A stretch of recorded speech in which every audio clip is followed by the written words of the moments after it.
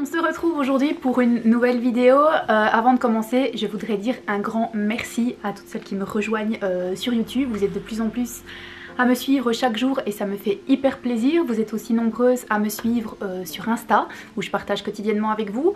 Donc si c'est pas encore fait, petite parenthèse, je vous invite à vous abonner à ma chaîne et à activer la petite cloche pour recevoir les notifications quand je publie une vidéo.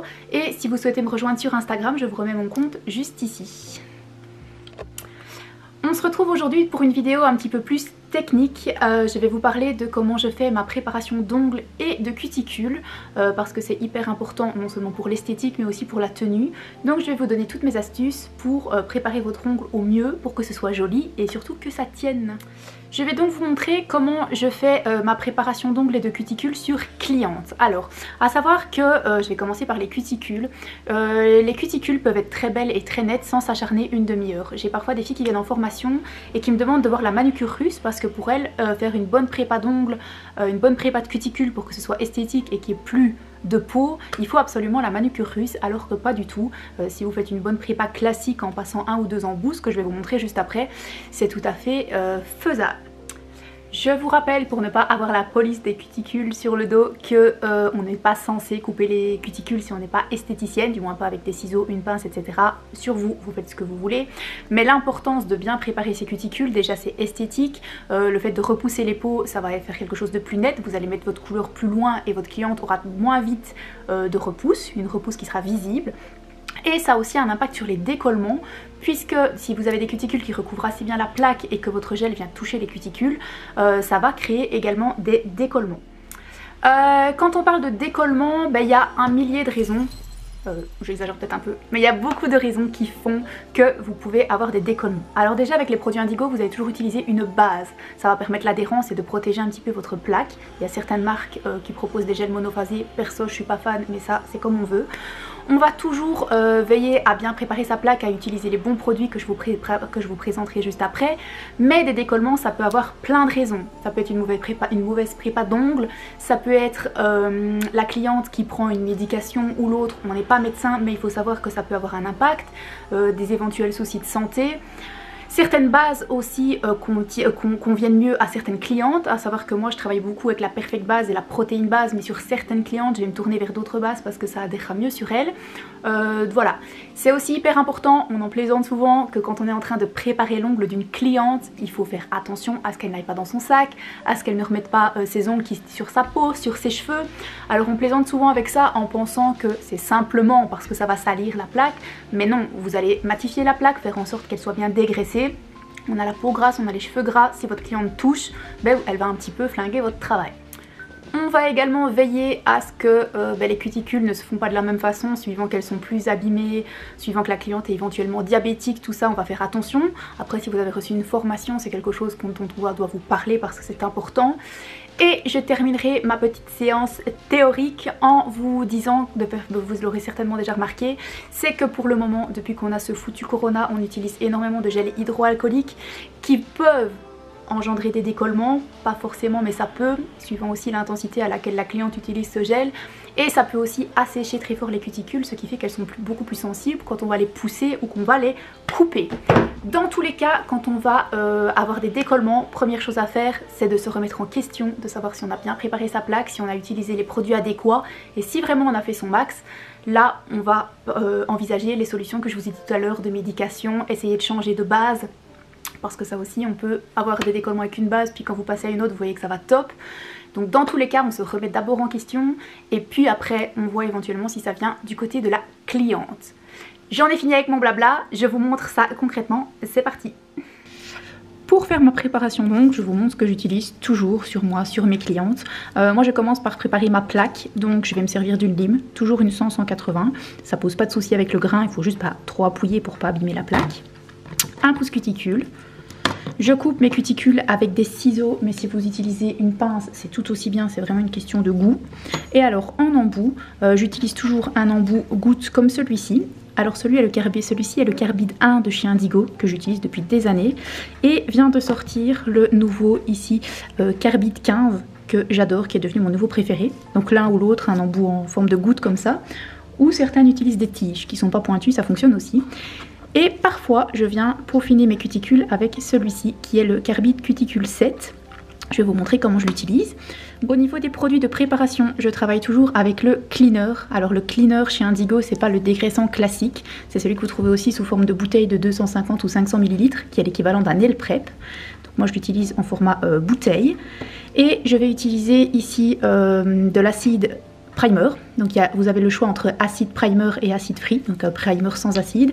Ici au gel, je vais travailler à l'acide. Je vous expliquerai quand je l'applique pourquoi j'utilise l'un ou l'autre. Mais si vous voulez beaucoup plus d'infos sur tout ce qui est cleaner, primer, acide, sans acide, je vous mets le lien de la vidéo de Laetitia sur la page YouTube, sur la chaîne YouTube Indigo, où vous retrouverez toutes les infos. Euh, voilà, elle vous donne toutes les infos concernant les produits de préparation.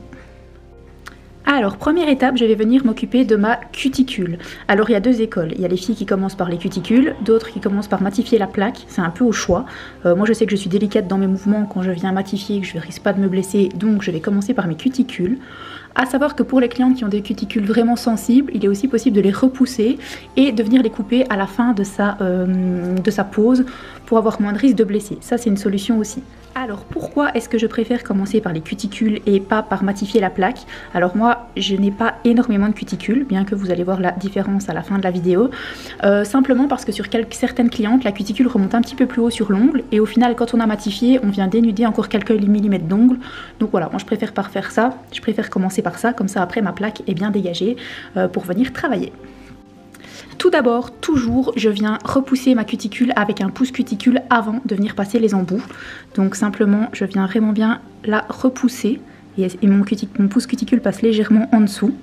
Pourquoi je fais ça? Parce que la mienne n'est pas excessivement collée à ma plaque, mais certaines clientes ont les cuticules bien collées et euh, ben, ça permet de venir faciliter le passage de l'embout de ponceuse et d'avoir moins de risque de blesser avec la ponceuse. Et comme je dis toujours à mes élèves en formation, mon pouce cuticule me permet de prendre la température de ma cuticule, de voir à quel point ma cliente est sensible, comment sa pose décolle, etc. avant de passer le premier embout.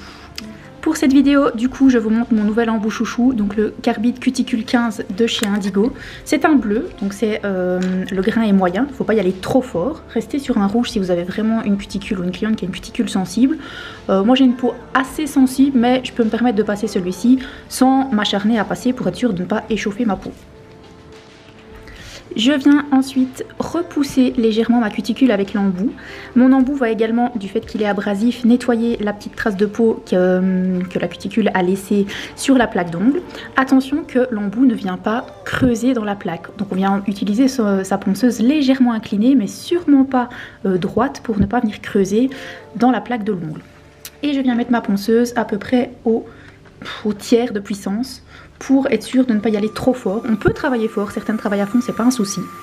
Mais moi je préfère travailler comme ça, c'est suffisant. Donc je pars du début, du milieu, et je viens, dans, toujours dans le sens de rotation de la ponceuse, légèrement soulever ma cuticule.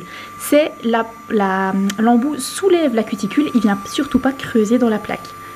Donc ma ponceuse dans ce sens-ci, je viens bien jusqu'au coin.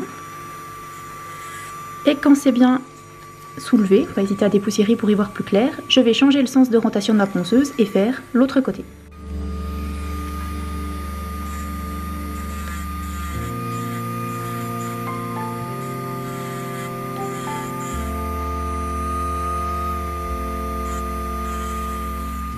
Je dépoussière pour vous montrer.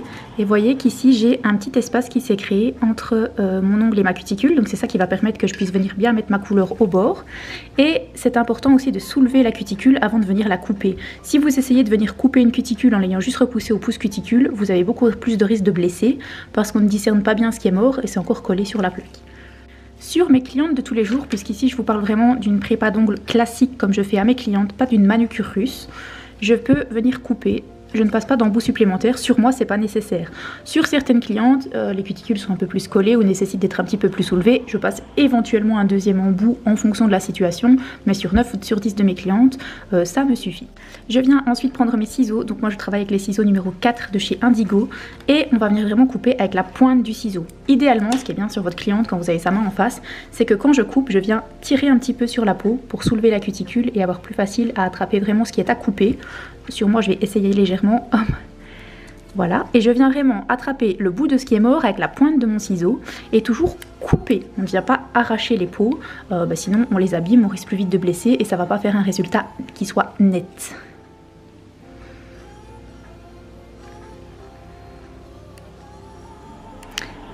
Et j'avance toujours en gardant le bout de ma cuticule dans, mon, dans mes ciseaux. Je viens jamais tirer. L'idéal c'est d'avoir une cuticule qui vient en une fois ou presque, ça vous fait quelque chose de beaucoup plus net. Hop, je vais essayer de la choper. Vous voyez, on aurait dit que j'avais quasiment pas de cuticule et au final, j'avais quand même des choses à retirer. Si il me reste des toutes petites peaux, hop, comme ici, et que je suis sûre que je ne vais pas venir me blesser, je repasse avec mes ciseaux, mais toujours en se disant que on ne peut pas blesser, on ne peut pas faire saigner sa cliente.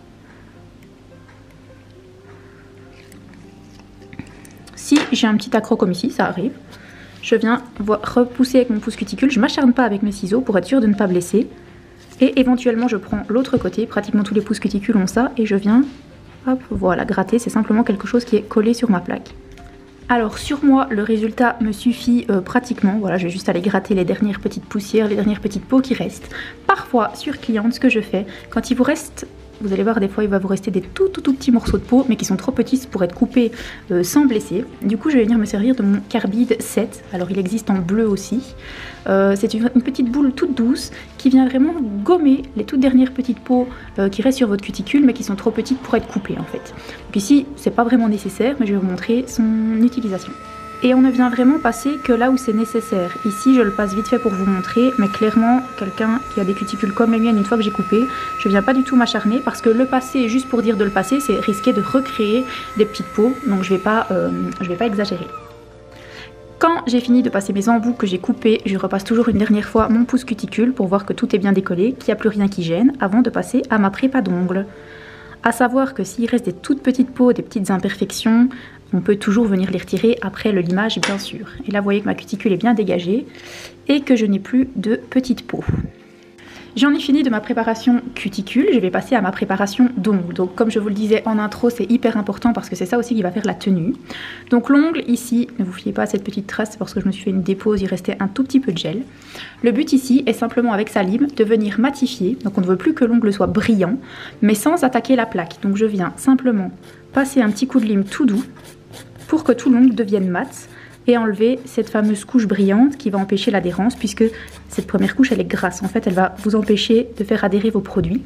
Deuxième raison c'est que toutes les petites stries qu'on est en train d'ouvrir avec sa lime ça va permettre de faire pénétrer les produits à l'intérieur. On fait toujours bien sûr attention quand on vient matifier de ne pas toucher la cuticule de la cliente qui pourrait euh, bah, du coup être beaucoup plus sensible du fait qu'on a coupé et ben voilà pour ne pas simplement lui donner la sensation désagréable de la lime qui passe sur sa peau.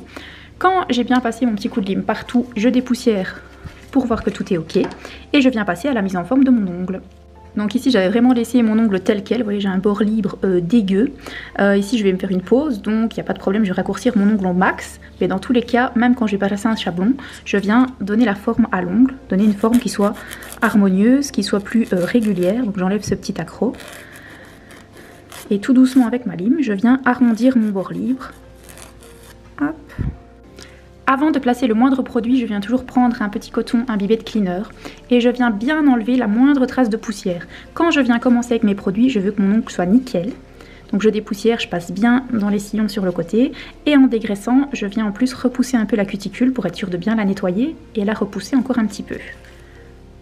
Premier produit que je vais utiliser, c'est le cleaner. Donc il existe en bouteille, comme je vous ai montré tout à l'heure, en format 5 ml et en format 15 ml. Le cleaner chez Indigo, ça correspond à dans d'autres marques à un nail prep. C'est-à-dire que c'est pas un produit qui est obligatoire. Je l'appelle toujours la petite sécurité. C'est le produit qui vient un petit peu plus euh, dégraisser votre plaque pour être sûr que elle ne soit du tout plus grasse du tout et pour favoriser euh, le plus possible l'adhérence. C'est pas un produit qui abîme, voilà, donc moi je préfère, il coûte vraiment pas grand chose, je préfère l'utiliser à toutes mes clientes. Certaines le gardent que pour les clientes qui ont facilement des décollements. Moi je le mets à tout le monde.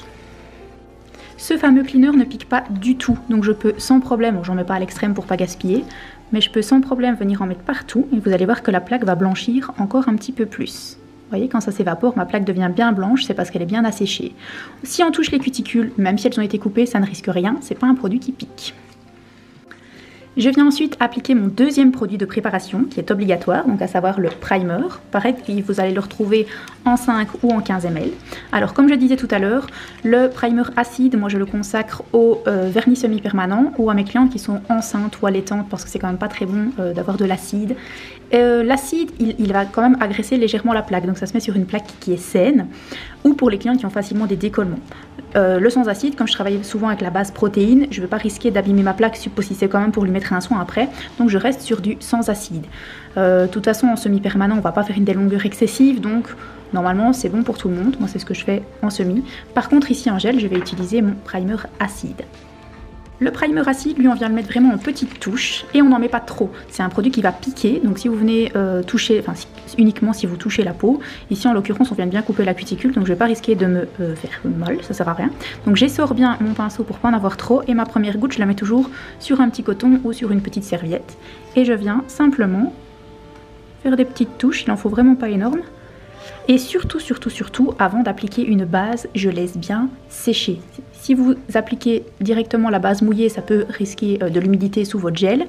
Euh, si vous appliquez sur le primer encore mouillé, et ça peut, euh, ça peut nuire à l'adhérence. Et là, vous avez fait tout ce qu'il fallait pour avoir une bonne prépa d'ongles. Les cuticules sont nickel. on a bien appliqué nos produits.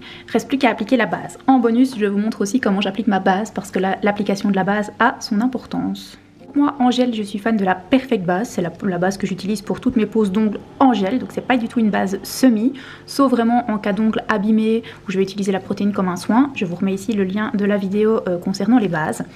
Mais celle-ci est une très bonne base, bien adhérente. Donc, euh, je reste dessus. C'est vraiment ma base préférée pour justement l'appliquer en fine couche, euh, parce que pour celles qui connaissent, elle est vraiment plus liquide que la protéine. Ce que je fais, c'est que je viens prendre une goutte que je dépose sur mon ongle, il en faut vraiment peu. Et je viens l'appliquer avec mon pinceau euh, gel classique. Comme ça, je suis sûre de ne pas en avoir de trop parce que le pinceau, est gorgé de produits et du coup, on aurait vite une couche qui soit trop épaisse. Et je viens l'appliquer avec ce pinceau-ci.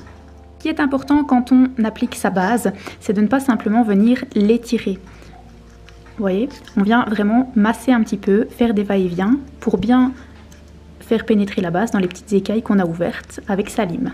Donc je masse un petit peu, je regarde qu'il y en a bien partout, surtout, surtout en ne touchant pas les cuticules parce que ce serait source de décollement aussi. Et une fois que j'en ai bien partout, c'est une base qui est très fine, je catalyse 30 secondes. Et voilà, ma prépa donc tip top, euh, je suis prête à mettre un chablon, voilà, à faire mon extension. Et ici, j'ai mis toutes les chances de mon côté pour que euh, ça tienne. Je vous remercie du fond du cœur d'avoir regardé ma petite vidéo. N'hésitez pas à aller checker dans mon YouTube euh, voilà, toutes les autres petites vidéos que je vous propose. Euh, je vous fais de gros bisous et on se retrouve très vite pour une prochaine vidéo. Ciao ciao